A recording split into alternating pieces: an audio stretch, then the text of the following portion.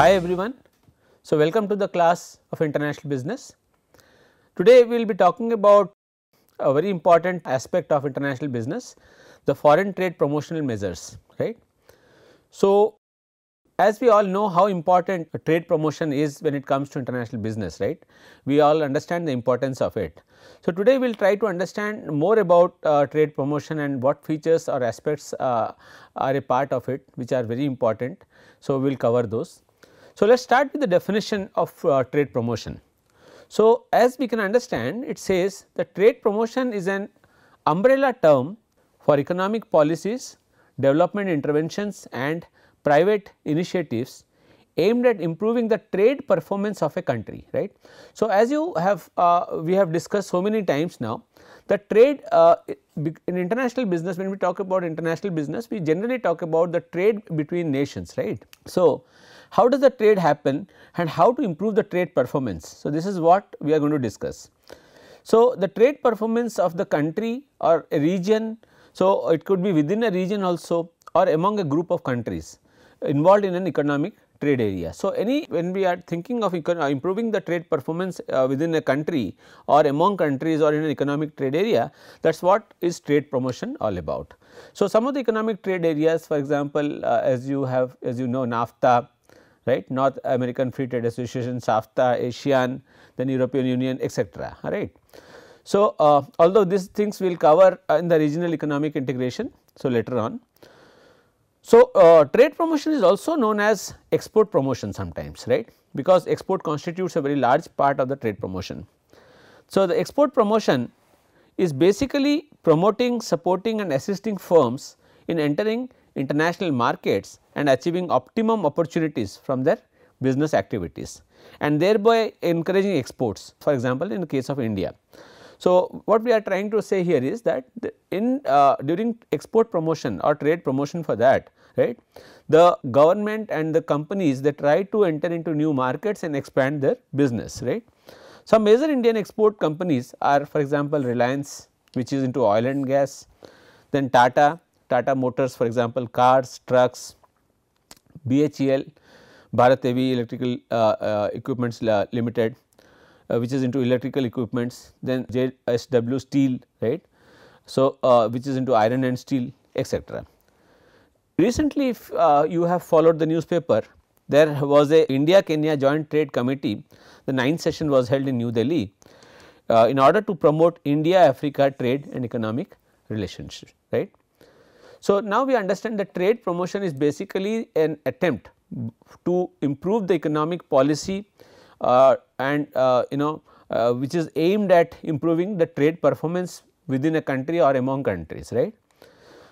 And how important uh, trade promotion is uh, basically that uh, you can understand that export trade promotion impacts almost 50 percent of the country's GDP right. So, you can understand from that how important it is this subject is. What is foreign trade regulations?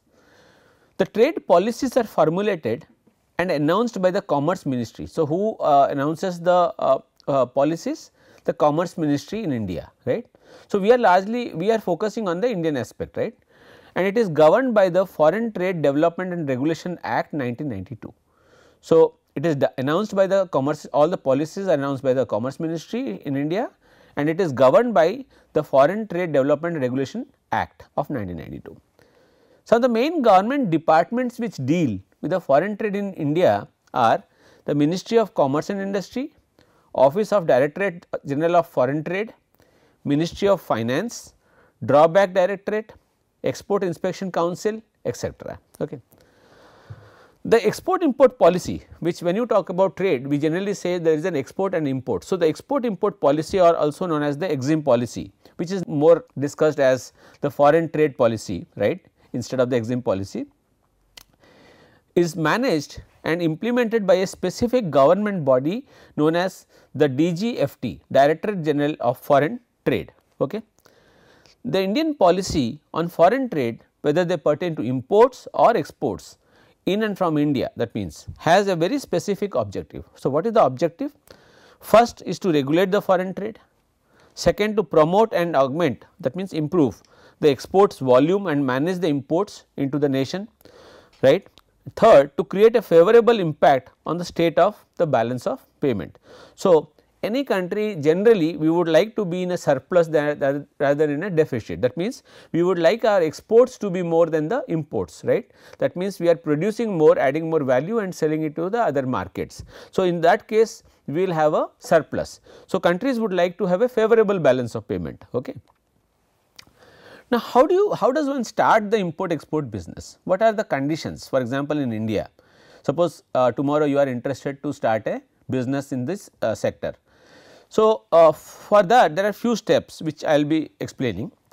First and foremost one must have a business, you must have some business right.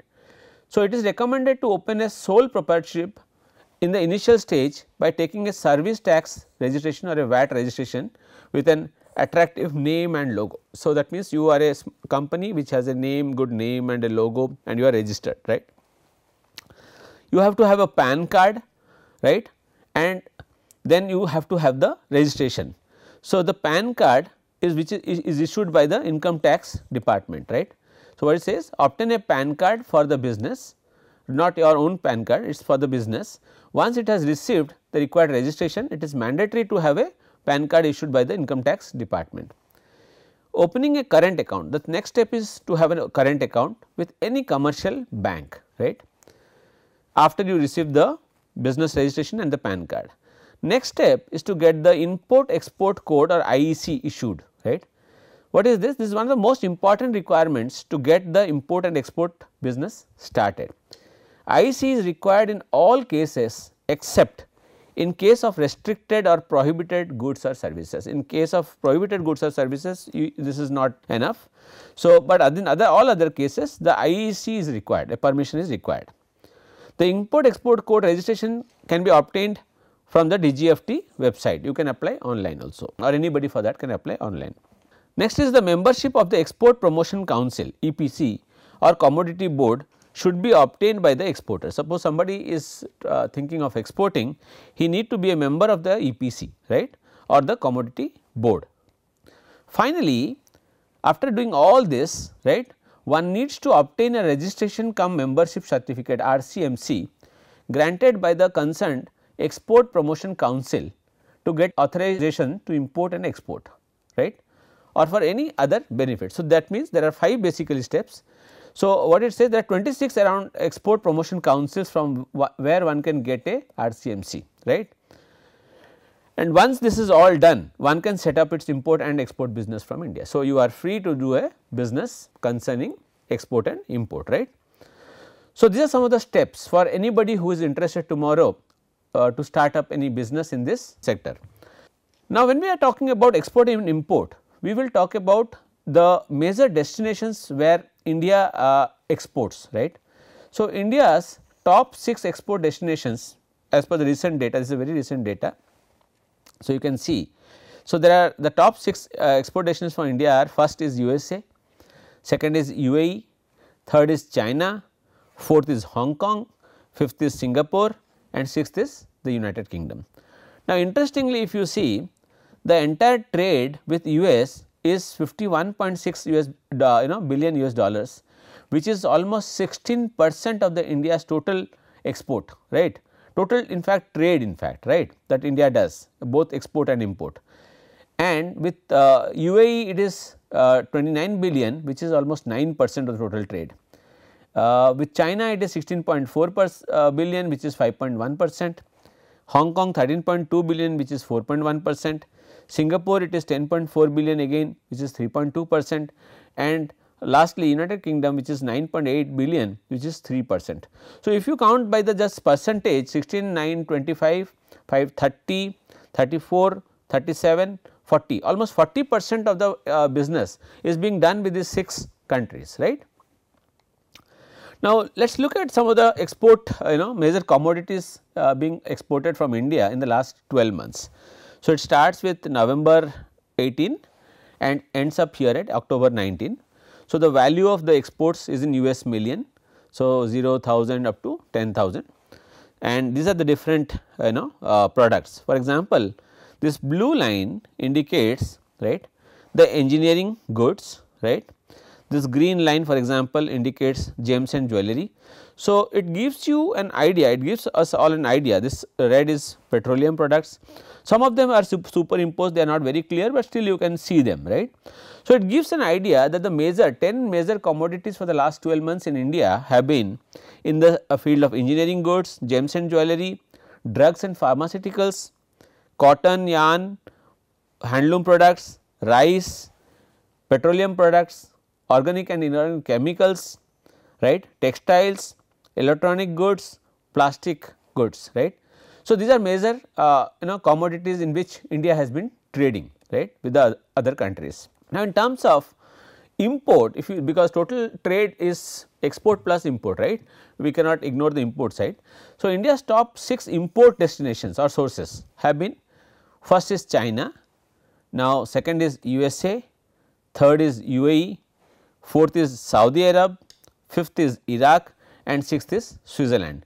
Now, if you remember if you can see this first three were also there in the export destination also right. UAE, USA and China right. So, all the 3, but only the position has changed China was third in terms of export, but in terms of importing China is at the number 1 right. We uh, are importing the maximum number of items or products from valued items from China right. So, this gives an idea right. Now, let us look at the import value of 10 major commodities. Now, what are the major commodities which we are being importing from the uh, other countries right. Again this is a uh, 12 months data. So, if you look at here there are some changes. So, for example, uh, the products are like petroleum crude and products. So, this is one thing which India imports a lot and the value you can see is very very high. So, it is significantly high. So, that that has a lot of impact on our you know our on our GDP. Then machinery, electrical, non-electrical, transport equipment, artificial resins, plastics, electronic goods, pearls, chemicals again some form of chemicals which maybe we are uh, we need it in India we do not do it. So, we are importing from outside gold, coal, coke and briquettes, iron and steel. So, if you look at the value the significant most significant has been the the, the petrochemical right petroleum crude and uh, the products and uh, then maybe uh, the red one is electronic goods which we are importing in India. If you were to look at the again look at the you know um, uh, export in terms of export the highest value that gives us is the engineering goods. Okay. Now, this is an a table which I have prepared so that it gives you a good idea. So, what it says total business that uh, India does with other countries and the particular country's percentage of the total Indian exports. For example, India does about 51.6 billion which is 16 percent of the total of India's exports right. With UAE second is UAE in rank which is 29 billion which I was just showing in the first slide right. So, this are uh, there I had shown you about 6 countries the first 6 up to United Kingdom, but here there are up to 10 the top 10 countries with which India exports does exporting right. Now, if you can look at it this gives a better idea now country specific trade deficit in 2018 what does uh, trade when does trade deficit happen?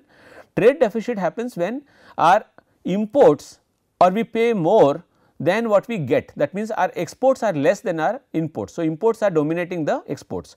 So, countries with which we have a larger trade deficit is China for example with which we have a 57.3 billion trade deficit, Saudi Arabia 22.9 billion, Iraq 21.2, Switzerland 16.8, Iran and largely if you see some of these items mostly are into the petrochemical sector right. So, these are some of the countries with which we are doing business and we have a trade deficit. So, are there some countries with which we are doing trade and we have a trade surplus? Yes, there are. For example, our relationship with the United States is one in which we have a trade surplus, a case of trade surplus. That means, we are exporting more and earning more through that and uh, there is uh, no deficit, right. There is the imports are less and exports are more. Bangladesh 7.9 billion, right. Nepal 6.9, Netherlands 5 billion. So, this list again goes as a trade surplus, but if we count if we count in terms of the surplus and the deficit uh, from a face value we have a very high deficit with for example, China right which we can see and obviously that is because I think one significant reason being the cost of the products that we get because Chinese markets the products are very cheaper in comparison to the other markets. So, that becomes one significant reason right. India's overall trade performance uh, from this figure if you see what it says that uh, from the period April to September 2019 right.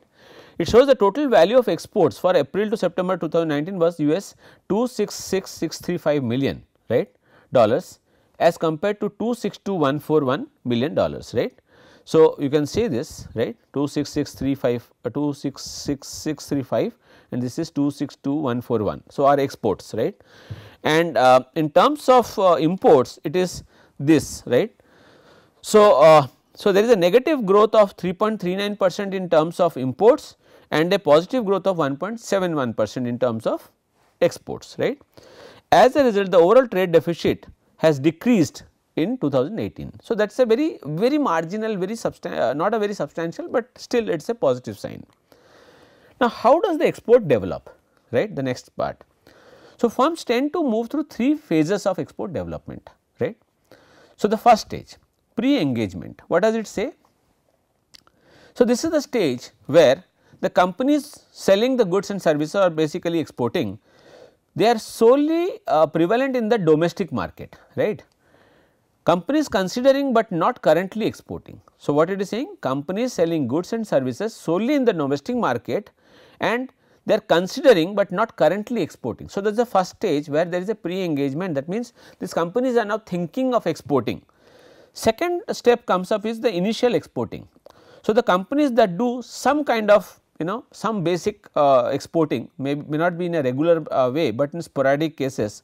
So, there is a marginal exporting companies that see lots of potential in the export markets. Now, these companies are trying to are uh, finding some very uh, good potential in the uh, export market.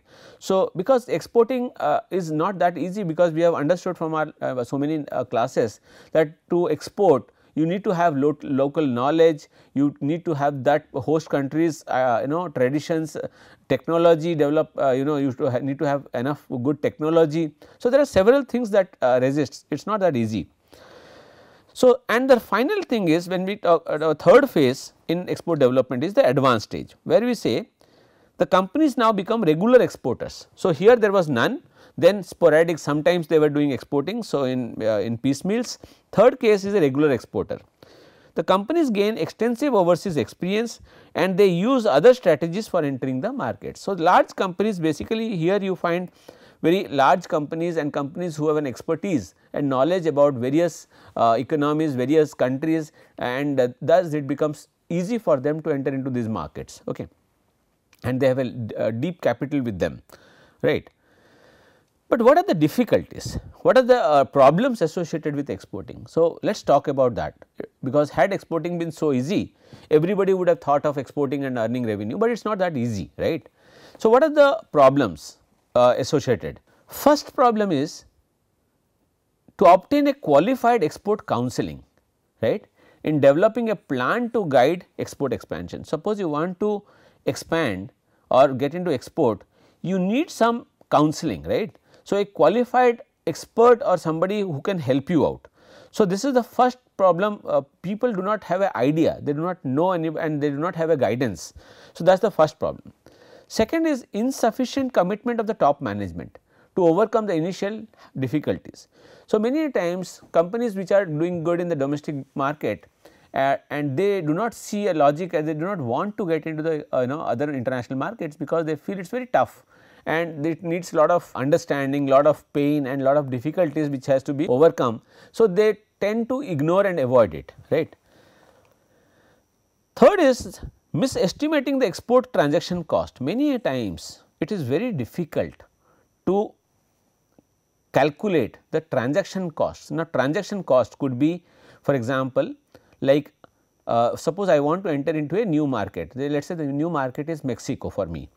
Now, what is the shipping suppose I want to ship something I want to uh, export some products. What is the cost of transportation? What is the cost of acquiring information out there what is the cost of acquiring uh, local knowledge, what is the cost, there are several costs attached for example, storing inventory, warehousing all these costs right.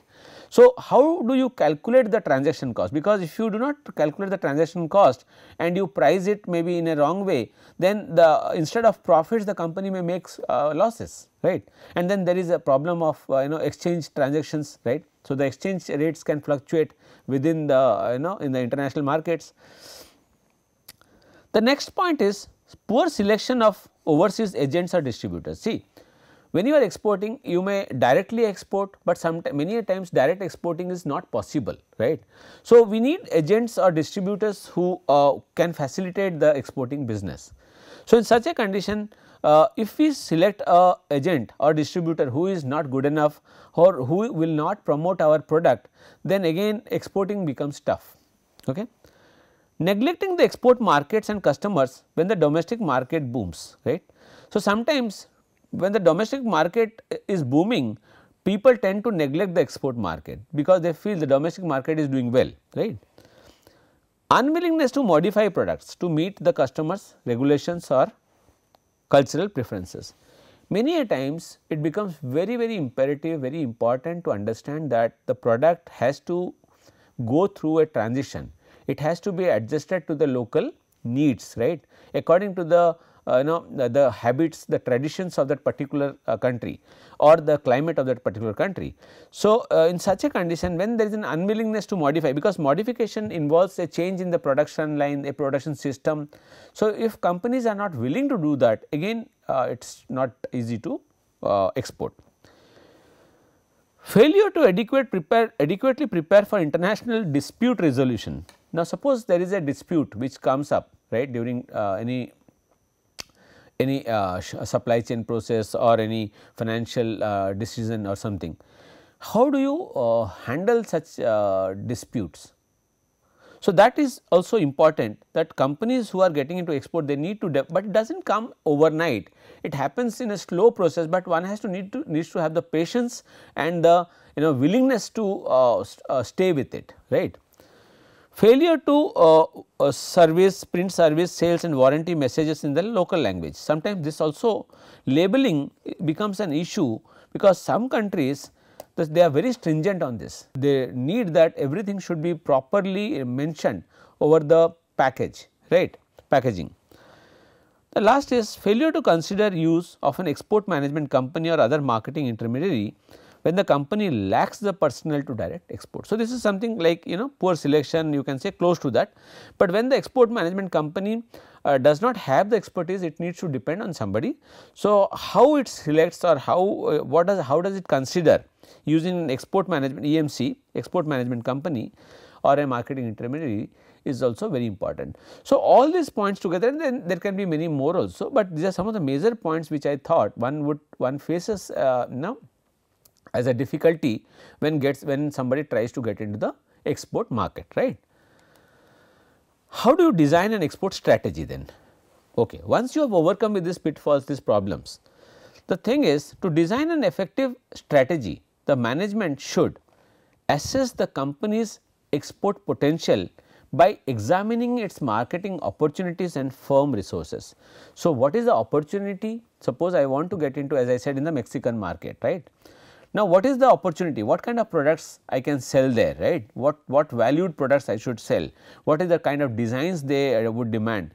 And to make such products, do I have the resources? If a company succeeds at selling in the domestic market, there is a good chance that it will also be successful in the foreign markets, at least those where similar needs and conditions exist. So, suppose we get into a market which is very similar, uh, uh, you know that is how when you are exporting you need to identify the right clusters. Clusters are basically homogeneous markets. So, if the market is very homogeneous is like your own domestic market it has some similarity then you need not do much of changes and you can sell the product. But if you want to expand and get into a market where there are a lot of design, changes are required then it in this case it might be slightly different. For example, let us see amid rising you know uh, trade tension American importers of sports goods, toys, stationery, cables and electronic parts now have reached out to Indian sellers. Now, we know that there has been a Indo uh, US China tension uh, for some time right. Now, the American uh, buyers they are reaching out to the Indian sellers to make these goods and uh, to buy these goods from them. As Chinese products are becoming expensive due to the US China trade war, the US is looking to replace Chinese exports with Indian products. Maybe there are certain several issues, several reasons for that. One could be the econ economic perspective, one could be a political perspective, right. With Indian product lines including vulcanized rubber, footwear and kitchen accessories. India exported these items worth 1.5 billion in uh, dollars in US uh, in 19 to the US and the industry is keen to ramp up capacity to meet the potential demand. So, this is a great opportunity for the Indian sellers to reach out to the American buyers. Okay. The second thing is obtain expert counseling or exporting from the on exporting from the government programs.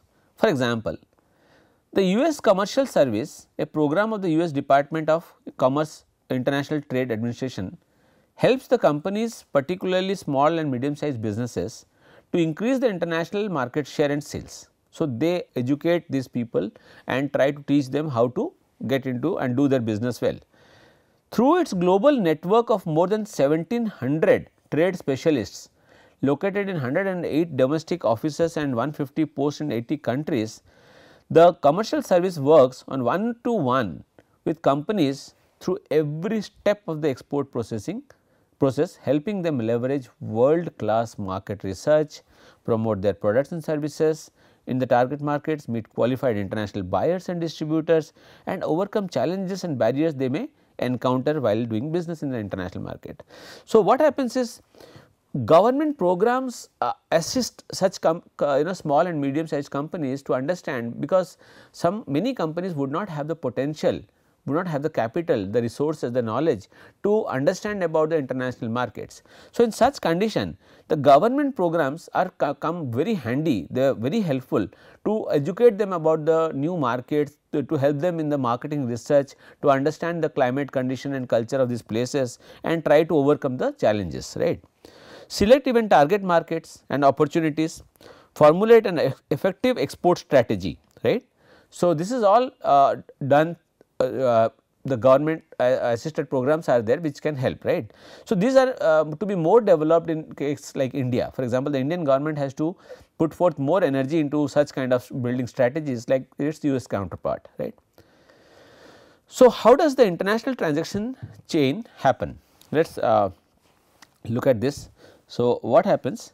Suppose there is a request for goods. Now, you can see uh, the red one stands for the importer country, the blue stands for the exporter country. Okay. So, there is an importing country let us say in this case the US which wants some of the products from India as we discussed in the last slide. So, there is a request for goods right.